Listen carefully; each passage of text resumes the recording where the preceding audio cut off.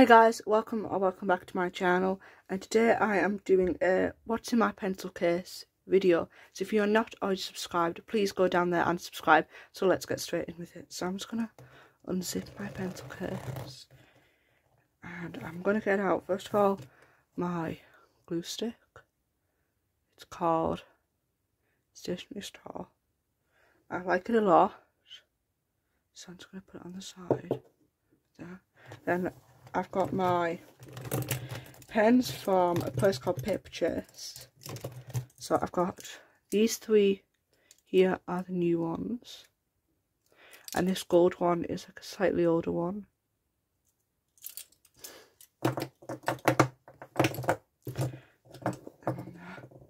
Then I've got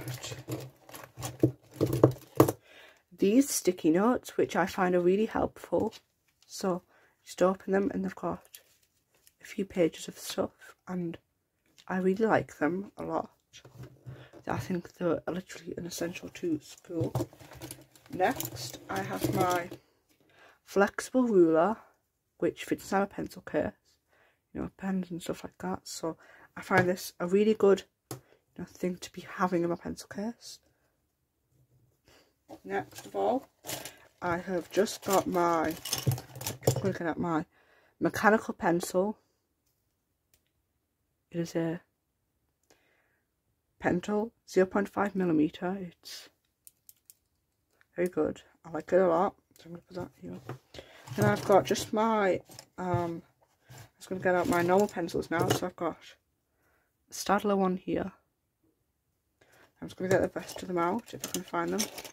I've got two Staedtler ones here. So in total I've got these three. And I've got two of my Inkjoy Papermate pens. I like these a lot as well. They're very comfortable to write with. Next, after that, in my pencil case, I have got my, oops, what's it called?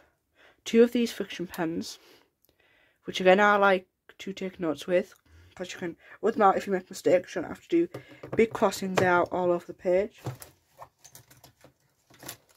And to go with them, I have got this Pilot G slash 207 pen.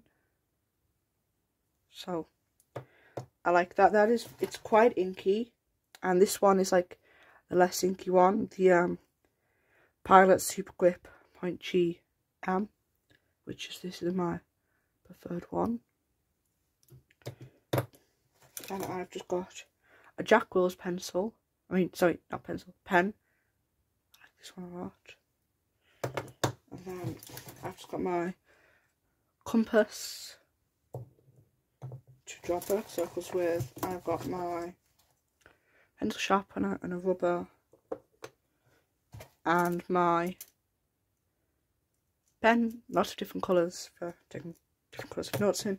And finally I have my pencil case, just here. So guys, I hope you enjoyed this video. Please give it a big thumbs up if you liked it and I will see you all next time.